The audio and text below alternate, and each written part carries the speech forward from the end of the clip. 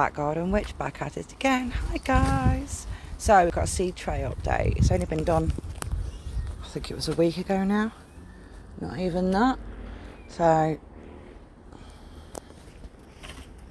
so so far we've had nothing on the carrots, parsnips or onions.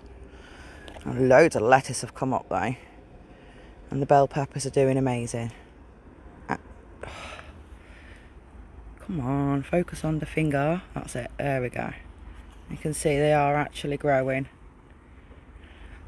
Now, because we've got some peeking through and these ones are struggling, what I am going to do is I'm going to leave the lid off so that it can uh, get a bit more daylight.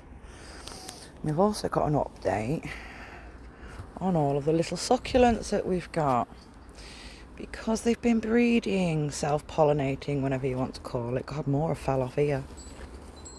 And see, they've got little hairs. Oh, gosh.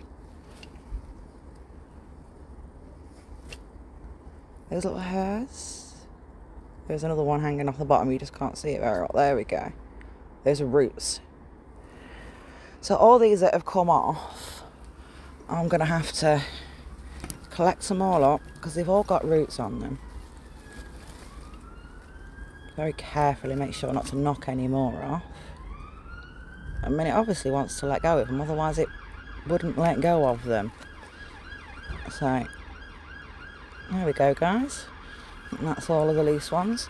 So, yes, this has gone boom. As you can see, it started out about that size.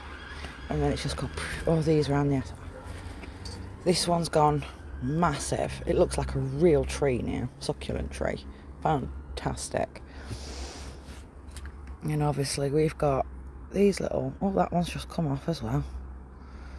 See, and also these ones have got little hair roots.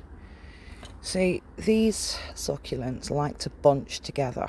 So what they'd like to do is they like to fall and then grab onto a little bit of soil and then they try to find other succulents and they pull themselves together. So if you look in here, that isn't just one plant, that's lots of little plants all in there. Hence why you get so many babies. So this is what we've got so far. Yes, that one looks like it's sideways, but it's got a long root on that one. And these have all come off. And we've got these to do. What we're going to do is take them over to our cacti propagation tray and we're going to add these in. I'll show you on the next video